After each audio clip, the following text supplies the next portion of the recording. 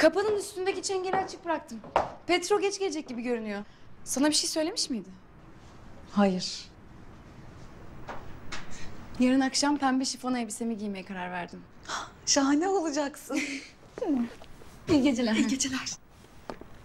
Yarın akşam çok eğleneceğiz. Galiba şarkı bile söyleyeceğim.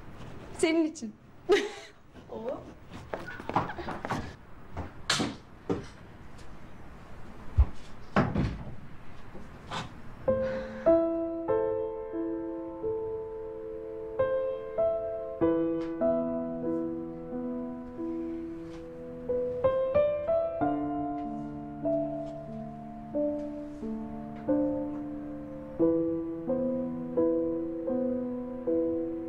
Kaç kere çatışmaya girdik, kaç kere yolumuz kesildi sayamadık artık. Anlayacaksın. Gönderdiğim silahları kullanmak için bol bol fırsatımız oldu. Bizimkilerin moralleri nasıl?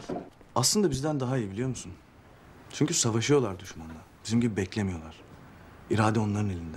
Bu gece de hikaye dinleme sırası sende mi?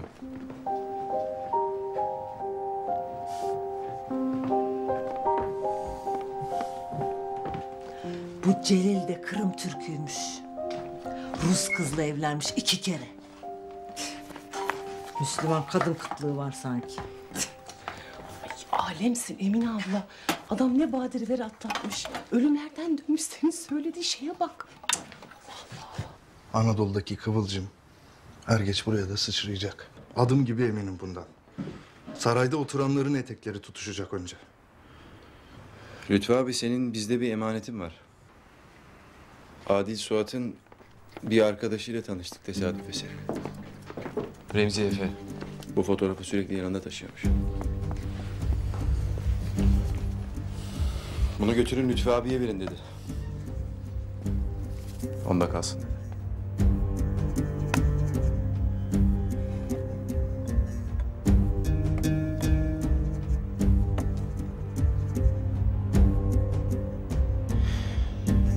Merak etme.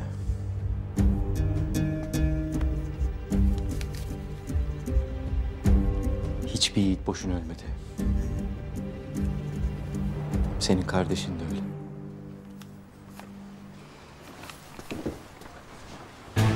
Tam saatinde evin önünde ol. Sakın acele etme. Uşağı açacak kapıyı. Uşağı aynı zamanda koruması. Belli bir saatte gönderiyor.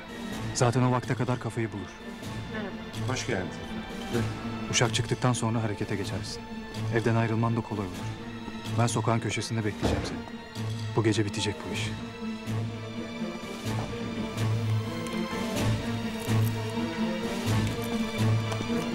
Çantanız lütfen.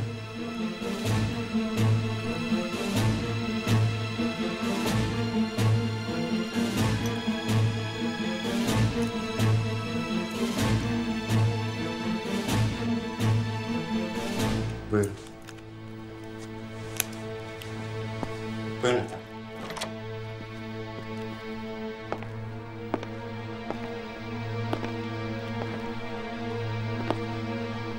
Masa hazırlama konusunda özel bir yeteneğim olduğunu söylerler.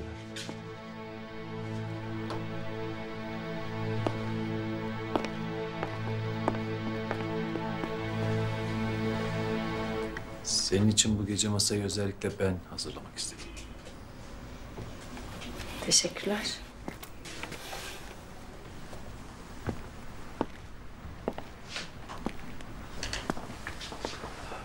Nigel, servise başlayabilirsin.